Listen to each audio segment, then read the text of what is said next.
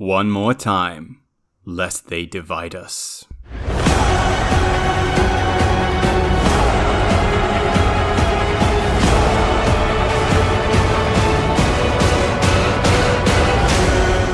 This is Deus Ex Mankind Divided.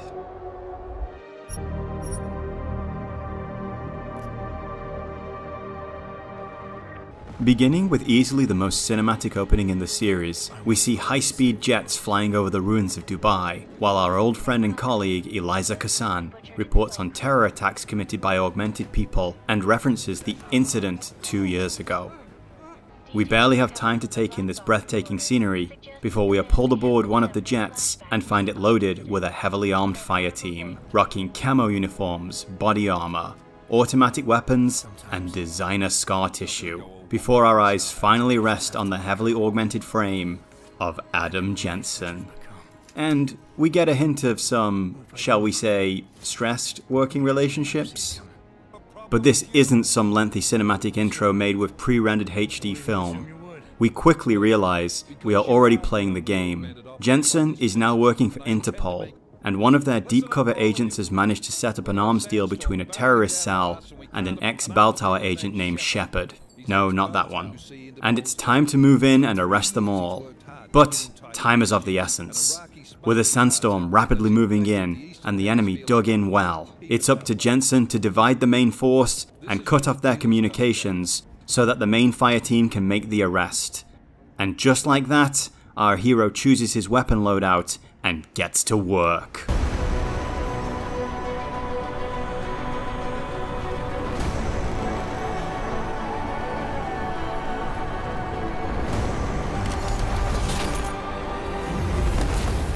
And while this is our tutorial mission, I can tell you that anyone coming to this off the back of Human Revolution will have no problem getting to grips with the new tightened up control system and may even appreciate the changes made to the stun gun. But things go south when at the moment of the arrest, gold masked figures appear from nowhere to disrupt the deal and all hell breaks loose. With the sandstorm barreling in and guns blazing everywhere, Adam rushes to ground the helicopter and prevent the enemy from escaping. And just as he takes a moment to breathe a sigh of relief, the walls come crashing down. And so, for the last time, we are thrust into another tangled network of mystery and conspiracy. What starts with a train station bombing in Prague will send Adam hunting down extremists, dealing with corrupt police fueled by prejudice against the augmented, facing off against powerful crime bosses, flying to the Swiss Alps, and storming a summit held in London to prevent terrorists from murdering thousands and creating a rift so wide between humans and the augmented that it might never be healed again. Alongside this, he must uncover the mystery of how new augmentations became attached to his body and face off against deeper questions of who he is and what is his place in the world. Does he stand for justice in the face of corruption? Does he succumb to urges of violence and revenge? Or does he rise above it all to become a true exemplar of something far greater? There may be one major problem with this story, that being its somewhat abrupt cliffhanger ending, but what we get from the start until then is on par with everything else we've seen in this series so far.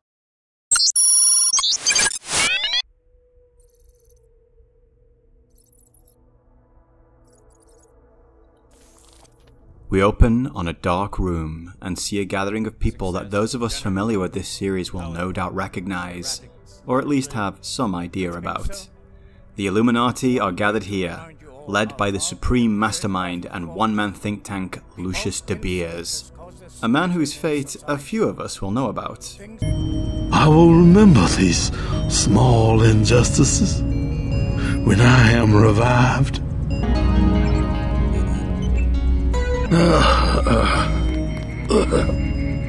As always, though, the intro talks in cryptic riddles that will not make much sense until later in the game. The old power seems truly intent on ending augmentation after their failing with Hugh Darrow in the previous game. They are now banking on something called the Human Restoration Act to pass, which would see the augmented having their upgrades forcibly removed from them or have them shipped off to segregation camps and they are more than happy to throw their near limitless supply of cash at getting their way.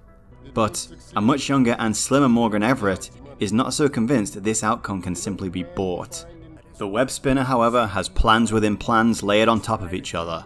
The only name mentioned in fear is that of Janus and his hacker group called the Juggernaut Collective, a group we've already met once, who are more than happy to make life difficult for the Illuminati. To this end, a second plan is set into motion, one involving a far more dangerous man than any of them know. Bob Page once again takes center stage as our villain. Young and handsome, he is ready to wreak havoc on their enemies as he is given the order to attack. Page, activate the sleep cell. And with those final words ringing in our ears, we see a high speed train charging through beautiful European scenery and see Adam Jensen awaken from a long sleep. Keep an eye on this face. It'll come back later. The train pulls in, and Adam finds himself at a station filled with faceless armed police, rocking seriously powerful looking hardware, and making spot identification checks on augs. Now, where have I seen this before? Prague, it seems, has taken a hard stance on its augmented population since the incident two years ago, and what starts here could spread across the entire world.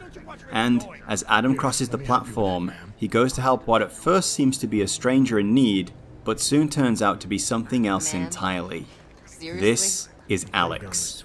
Not that one. Alex Vega. And she is a hacker in the Juggernaut Collective. We discover that they are the ones who have put Jensen into Task Force 29, as they believe it is an Illuminati front, and the elusive Man, not that one, Janus, wants Adam to place a bug on the Task Force's VR communications network. But before we can get deeper into this intrigue, all hell breaks loose.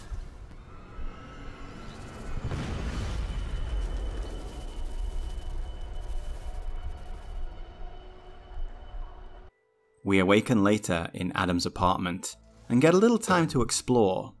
This is an immersive sim after all, and that means interaction.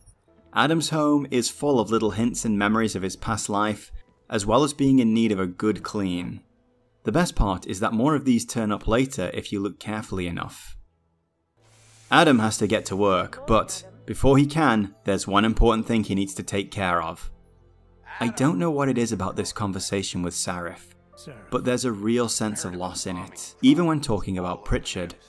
A friend described it as lonely X syndrome, saying you never realize how much you miss having him shout at you. We are soon out onto the beautiful streets of Prague, and our senses are assaulted with all manner of beauty and agony.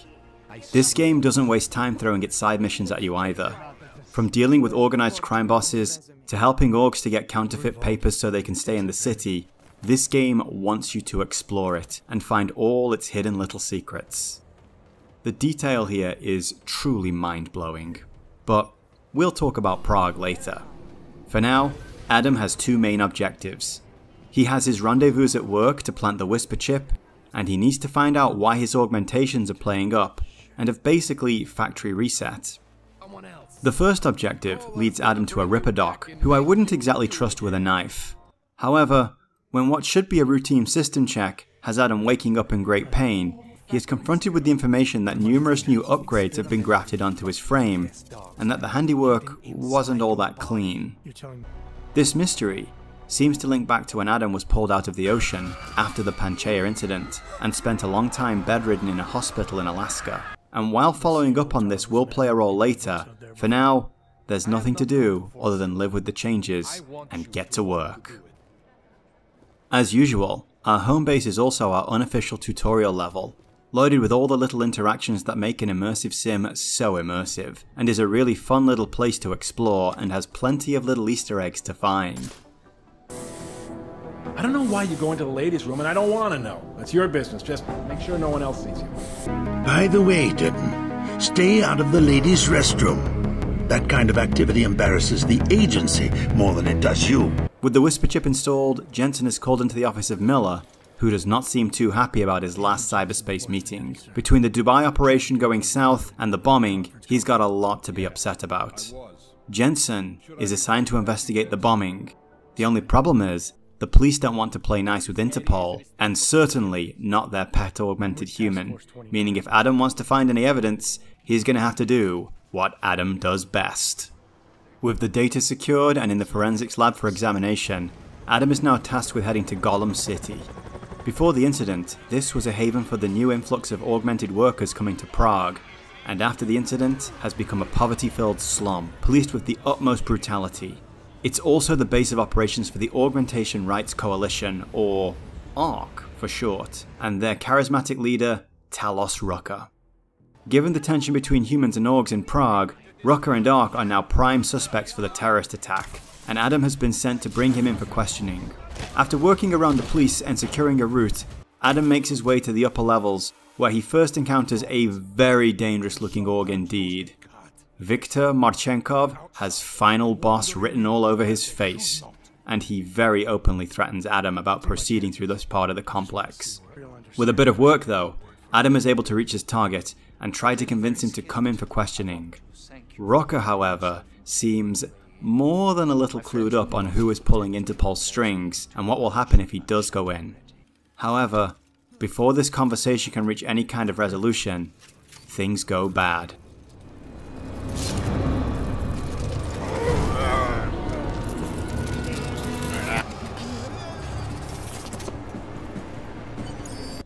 I mean, you can do much worse than taking cues from the Metal Gear series. With Rucker dead and the entire ghetto moving in on his location, Jensen makes a fast exit and returns to Prague to hand in his report. The city is now swathed in darkness, and the famous nightlife is now in full swing. Our second round in Prague sees Jensen following up on the forensic evidence from the train station to track down the bomber for TF 29, and for the Juggernaut Collective investigating if Miller is in fact working for the Illuminati. The first objective ends when Jensen finds the bomb maker's father, who has actually been sheltering her, and brings him in for questioning. The second mission has us actually breaking into the VR construct where Miller meets with his superiors and extracting data from a previous conversation and. Why, Mr. Manderley, were you ever thin?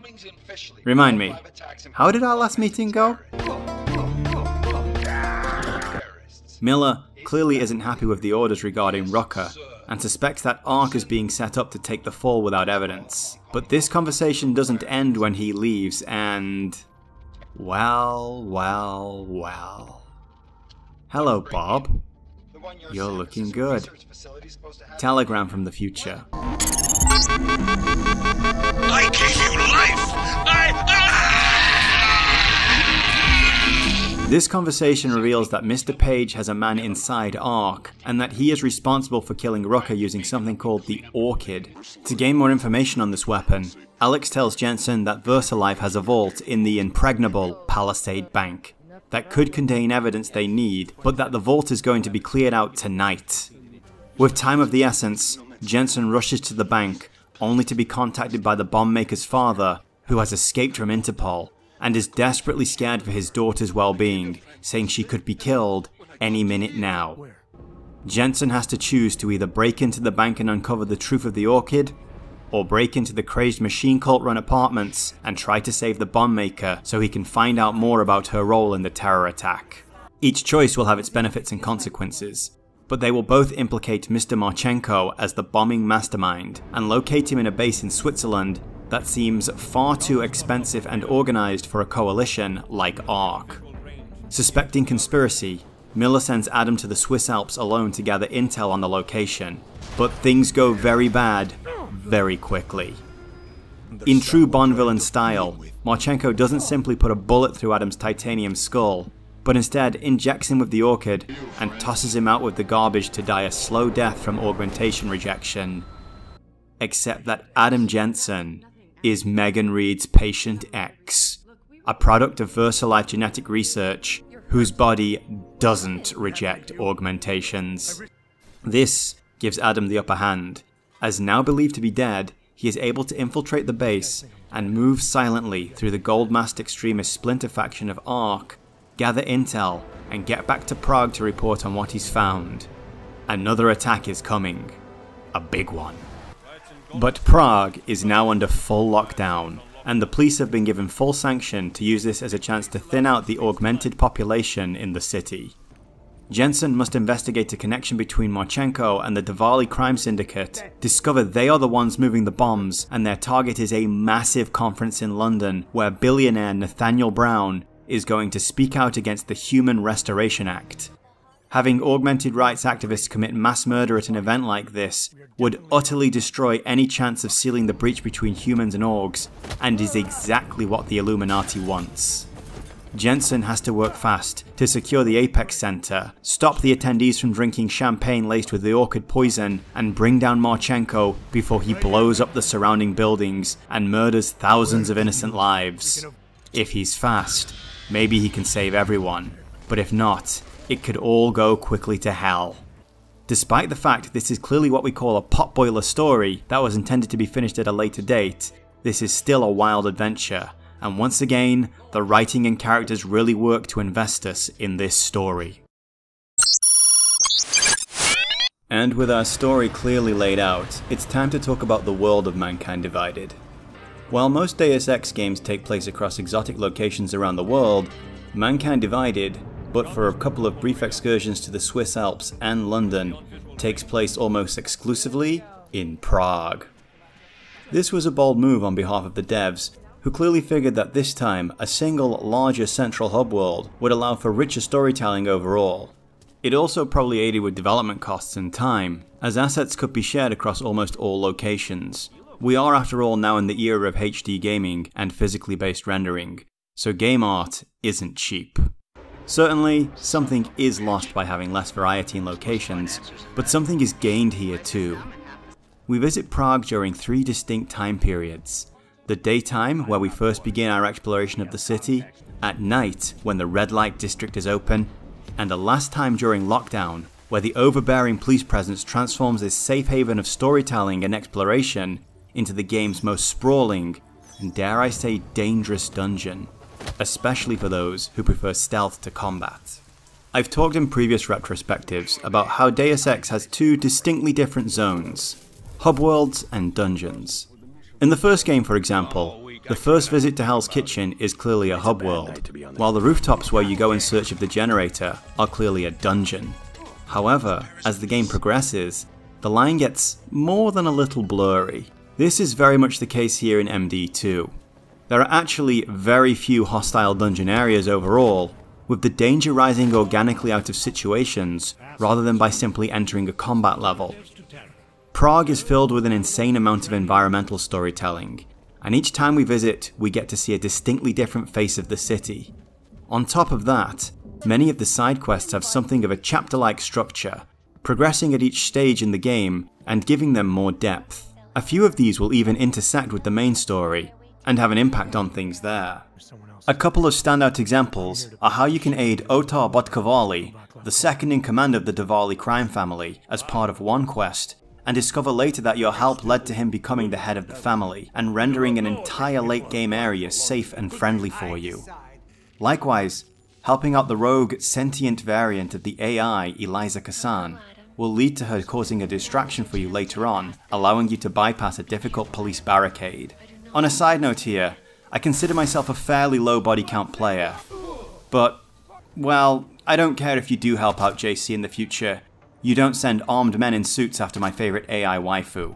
I mean, just look at the way Adam reacts upon seeing her, retracting his augmented vision to look at her with his real eyes. And my my, is he flirting with her? Of course, you have dialogue choices, but play certain ones and this reunion will be very touching indeed. Oh, and the moment I catch anyone trying to pull a jigsaw on me, well, if you've watched my RE7 retrospective, you know how I feel about that. These stories and this world are deep and engaging, and are only topped by one location in the whole game. I am of course talking about Golem City. It's a real shame that we only come here once, and only for one mission.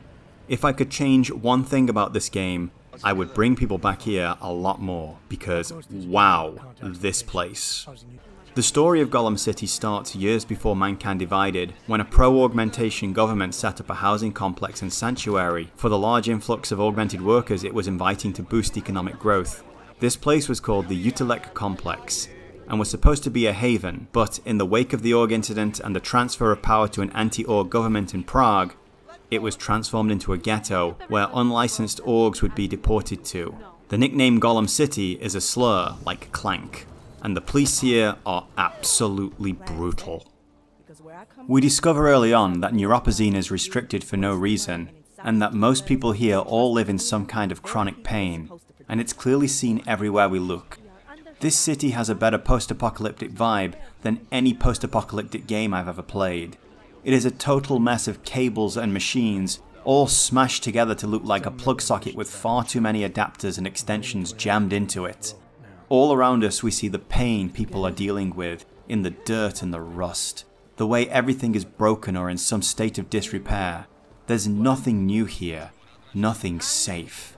The people walk with their heads bowed and steer clear of police brutality, not wanting to get involved for fear of drawing attention to themselves. This is a place where people disappear at night, and their fates are only whispered of. This is the ultimate endpoint of prejudice and separation. This is true hell on earth. The upper levels, known as the Throat, are the lair of Talos Rucker and the Augmentation Rights Coalition. And while they are all well armed, augmented, and seemingly willing and ready to fight, they don't. Rucker makes it clear he doesn't want any kind of violent response from his people. And while I actually agree with his principles, I mean, he lives at the top of the tower, above the pollution and the pain. He doesn't deal with police brutality on a daily basis. He knows when they come for him, he'll see it coming. Or at least, he thought he would. If I could make any kind of mod for this game, I would make more of this city. There are so many stories to be told here, and quite a few to find, like one apartment where we find what seems to be a murder-suicide that no one has reported or seems to care about. You can dig deeper into what happened here and the story is, well, devastating. Much of MD's gameplay is very much the same as it was in Human Revolution, with only a few tweaks here and there to tighten things up. Adam moves through cover in a more realistic and less stylish way, which in my book is kind of a minus, but not a deal breaker by any means. The shooting and the combat overall feels tighter too, and for me at least, worked just as well in first person shooter mode as it did in third person cover mode. By 2016, gaming's love affair with cover-based shooters was dwindling, and Wolfenstein The New Order and later Doom 2016 were showing us what we'd been missing while we'd been hiding behind chest-high walls. The biggest addition though are Adam's new augs. These are quite well integrated through the meta-narrative, and their discovery also jumpstarts a couple of other side quests. In the wake of the Panchaea incident at the end of Human Revolution, Adam spent some time unconscious in a medical facility in Alaska, where it seems certain doctors actually installed a suite of new military grade powers in him, but didn't do a particularly good job of it. As such, should all of them be brought online, Adam's power cells would overheat and he'd promptly explode or something to that effect. So, in order for the player to bring the new systems online, they need to shut down others. This effectively means they have to consider both a build and a loadout, at least until a little after the halfway point in the game, when Jensen can get the neuroplasticity mod installed and have unrestricted access to everything in his arsenal. Now, to be fair, you don't need to use these new abilities much at all. You'll be just fine rebuilding the same Adam you made in Human Revolution, which is actually what I did through most of the game. But some of these new toys are really fun to use, so I'd recommend you give them a try. They take the shape of combat and mobility enhancements. My biggest problem with the combat ones is actually my main gripe with the whole idea of having a weapon grafted into you. That is to say, how is that any more efficient than simply holding them with your hands? The Tesla charge, for instance, basically does the same as the stun gun. Now yes, this can be upgraded with a few whistles and bells, but overall I don't see how it's any more or less useful than having a stun gun, aside from freeing up some space in your inventory. Likewise with the nanoblades, sure, it's cool you can fire these things out of your arms, but they do the same as a silenced pistol.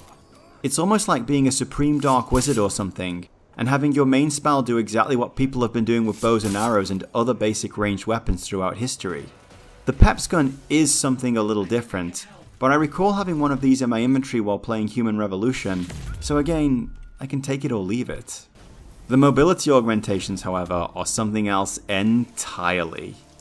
The Icarus Dash is useful in both stealth and combat, and what's cool is you even see late game enemies using it too, and the remote hacking is an absolute godsend, especially during the lockdown in Prague, when you have robots on the ground and in the sky searching for you, as well as laser tripwire and cameras just pointed at doors you need to get through for no good reason. A quick side note here. I love that we get to see robots that look like Deus Ex 1 robots in the game too. So overall, the new augs are solid, welcome additions that are going to boost any existing playstyle, and maybe even open the door to a few more. Now, the level design is probably where I have to talk a little smack about this game. I said before how I always like to take my time to really explore an area and find that one hidden little route that can bypass all the enemies and cameras without ever firing a shot or being seen. And while those little nooks and crannies definitely exist, it was really frustrating to search around some areas to find I was being hard railroaded through a confrontation where I basically had the choice of fight or cloak. Time and again, I'd think I'd found some useful air vent, only to have it bring me out somewhere useless. Or I'd try slipping through a sewer entrance only to find the bottom filled with poison gas. During the lockdown, for example, you are frequently funneled through heavily guarded checkpoints to get into and out of subway stations, and most of these stations don't have side or back doors into them. Up until the lockdown as well, the game does a pretty good job of not making you jump needlessly between Prague's districts and deal with loading screens to complete side quest objectives. But at this point, there's a lot of that too. The themes of Deus Ex are many, from conspiracy and corruption to media manipulation, human experimentation, and transhumanism. In the style of all good science fiction, though, things that are real possibilities are explored into their most extreme outcomes. Transhumanism, for example, is the idea that humans are so inseparable from their tools that they will one day ultimately join with them as a way to transcend the limitations of their biological bodies. Carbon based life, after all, needs a very specific environment to survive in and has a limited lifespan that is at best beset with strife from environmental hazards to disease. An AI, on the other hand, would never know such problems, and were it safely installed in a satellite with sufficient power, could sail the stars for all time. Transhuman theory puts forward the idea that our minds will become like those of AIs, and be stored on powerful drives, allowing us to inhabit any number of bodies, both mechanical and organic. The incredible book and Netflix series Altered Carbon dives deep into this, with human minds travelling across the stars faster than the speed of light to be installed into bodies waiting for them on far off planets. Another transhuman idea is that of cybernetic enhancements, similar to what we see in this series. It's one of the persistent features of the cyberpunk genre, with people rocking chrome like tattoos. I think this is less likely overall, but in science fiction, and in Mankind Divided specifically, it's used to represent a kind of social divide. In the early days of human augmentation, it's only the elites of the world that can afford the surgery and medication involved in the process. The elites in this way gain an even stronger edge over the rest of the world by having bodies and brains that can perform on a higher level to everyone else. As augmentation becomes more accepted and mainstream, people who can't afford or who simply don't want to become augmented find themselves falling behind in career development and other areas. Another metaphor is the Illuminati, who represent a more conservative mindset. Augmentation means a shift in power, and if that were to happen, they couldn't be sure they'd be on top of the pile when the dust settled. This seems to be their primary motivation in wanting harsher regulations and to even outright strip it out of the world. The augmented people in Deus Ex have a rebellious look to them, and seem to represent more liberal mindsets that welcome change and fight against oppressive forces. The quintessential cyberpunk or street samurai is the mercenary who is a law unto themselves, that rocks designer augmentation and fights against oppressive corporate powers that seek to keep the world as docile consumers while they commit their business unchecked and without consequence. These people feel their hardware completes them in a way that their biological bodies alone never could that through augmentation they are able to express themselves and live their lives in the most honest and natural way for them. And if that's the case, is there any real reason to deny them that? Or to try to take it from them by force? In Adam's case, military grade augmentation literally saved his life and transformed him into an unstoppable force capable of saving Megan and bringing the people who kidnapped her to justice. Maybe he never asked for this, but he also embraced what he became. These themes are all reflections of the real world in some way, and can give us pause to think on each one, but the moral ambiguity of many of the choices we make in Deus Ex means that we aren't beaten over the head with any particular ideology or morality. To put it simply, if you tell someone their point of view is wrong, regardless of what facts you display, they're likely just going to double down on it. Give them a chance to explore what other points of view there are, and they may start to change their mind about things of their own accord. This is one of the truly powerful things about artistic expression, and about interactive media especially. To put it simply, politics belong in games. ARC is another group that at the time of writing I can think of at least two real world comparisons for. And while I am sympathetic, after all, I think we can all agree that fascism and racism are bad, I believe that violent protest is never justified, and that it will only work to weaken your position in the long run. Again, in the game we see this idea explored to its extreme with Marchenko, he is a puppet of the Illuminati who is being specifically wielded to break ARC and turn public opinion completely against augmentation. But it doesn't take a dark conspiracy or an elaborate AI that exists to control public opinion to break good ideas, not if the people speaking out on those ideas can be discredited and brought down. Your ideas may be bulletproof, but you are not. The moment you strike out in violence, you become the enemy your opposition has imagined you to be. You validate their hatred of you, and what's more, they can hold up your actions as a way to convince others that their hatred of you was righteous to begin with, to say nothing of how other opportunists from outside the main conflict may move in to further aggravate the situation. The moment you strike, you give them exactly what they want. Remember, it's not about what you do or why you do it, it's about what they say you do and why they say you do it. They will use your actions to discredit you and turn more people against you. This is the warning that Marchenko brings, the danger that violent action brings. In the end, change will not be won through force. Indeed, that is the weapon of dictators and oppressors. You are not warriors whose job it is to submit your enemy with force, you are, at best, debaters whose job is to convince everyone on the fence that your cause is right and just. That is how things will ultimately be decided and change will be made. So, if it isn't obvious, this game was an incredible experience for me. It's just too bad that its initial launch was mired in the microtransaction controversy that led to an initial negative reception and coloured the experience for so many at the start. But I can't stress enough just how incredible and deep this world is. This is one of the best immersive sims, if not one of the best games I've ever played. And if for some reason you're here watching a full spoiler retrospective without having ever touched this game, then you really need to go and play this right now. You absolutely will not regret it. Mankind Divided ends at an interesting point. The battle is over, but the war rages on. Kind of like another abandoned Square Enix IP. And indeed, it seems that this whole affair has been constructed by Lucius simply to maneuver Adam, who it seems is in fact an unwitting sleeper agent, closer to actually meeting the elusive Janus.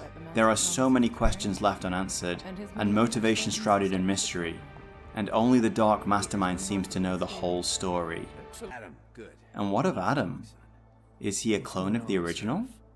Sarif seems to think so.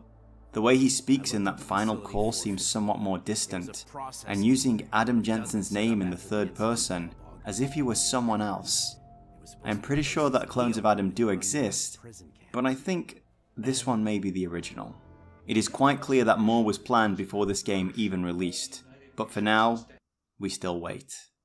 Square Enix smelt more money and opportunity in licensing a live service game with Marvel's Avengers, a game that launched as disastrously as every other live service, was met with critical revile, and has a seriously dwindling player base. That release cost the company a lot of money, though they've got plenty to spare if I'm being honest. And Eidos Montreal, apparently now on damage control, are at the time of writing working on a Guardians of the Galaxy game. While I am a fan of these characters, I am very over the MCU, and have been since Age of Ultron. The movies are fine. None of them are bad, but much like Star Wars, I'm simply overexposed to the brand and it doesn't excite me anymore.